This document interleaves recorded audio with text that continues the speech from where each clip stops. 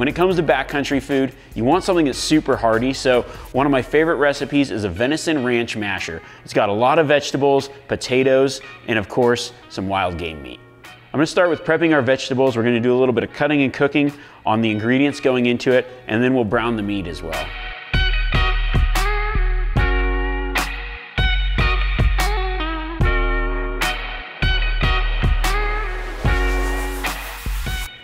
Any fresh vegetables that I dehydrate, I, I will like steam or blanch first.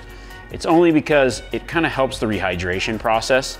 So just by doing that, it actually allows it to rehydrate a little bit better. So I'll just put these in here. I don't want to cook the nutrients out of it, but I do want to just get them a, a little bit better prepped. So when I dehydrate it, when I rehydrate it, it soaks in the water a lot faster and then it just ends up being a lot better product in the end.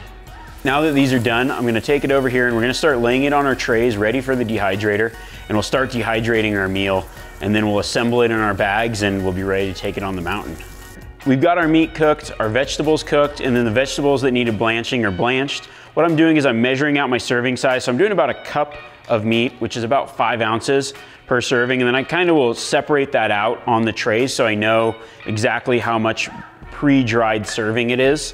And then we'll put this in the dehydrator, we'll separate everything out. I'll do an individual sheet for the vegetables, the whole serving for one meal, then we'll combine it at the end once it's all completely dehydrated.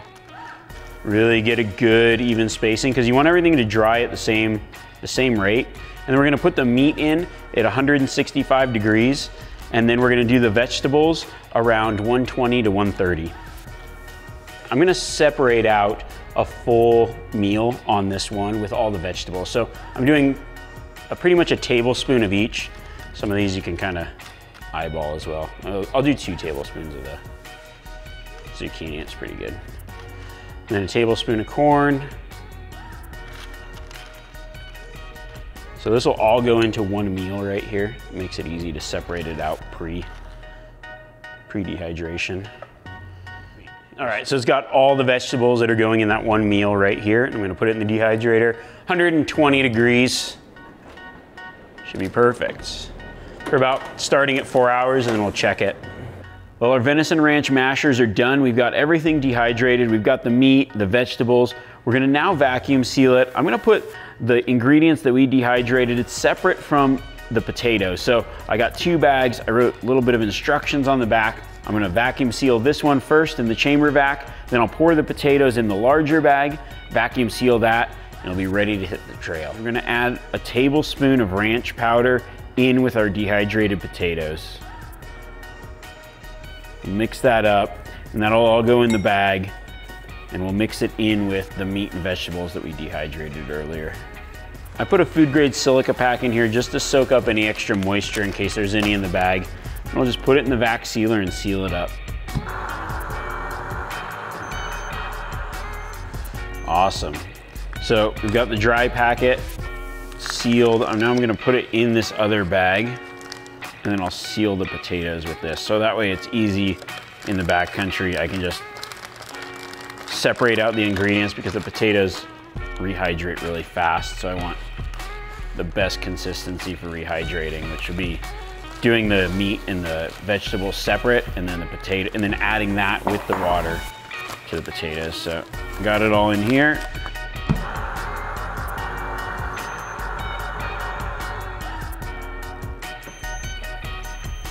Awesome. Perfectly sealed venison ranch mashers ready to hit the mountain. In order to rehydrate this, what we'll do is we'll pull out the pack with the dehydrated meat and vegetables. We'll add two cups of boiling water into our pot. We'll pour the vegetables and meat into the pot and let those rehydrate first. And then we'll take the water with everything rehydrated in it and dump it into the mashed potatoes.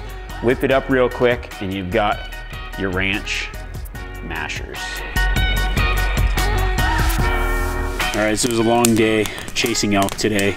I'm just gonna make this, we made these venison ranch mash potatoes. Got a little bit of ground venison, Brussels sprouts, Everything is pretty good. Um, I'm just gonna heat up some water here. I've got about eh, 10 ounces, about a cup and a half. I'm gonna put that on the pot, boil it. I'll then put in the meat pack with the vegetables, let it simmer in that, rehydrate, and then I'll pour all that into the ranch mashed potatoes. Turn it down a little bit. add the meat and vegetables. Everything's rehydrated. I got Brussels sprouts, some venison, some broccoli, a little bit of everything.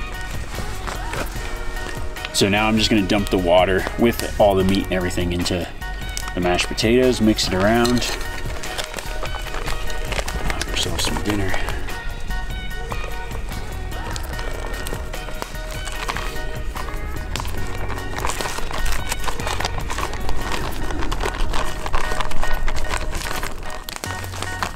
You go. Ranch, Brussels sprout, mashed potatoes with some venison, a little bit of squash, some broccoli, everything.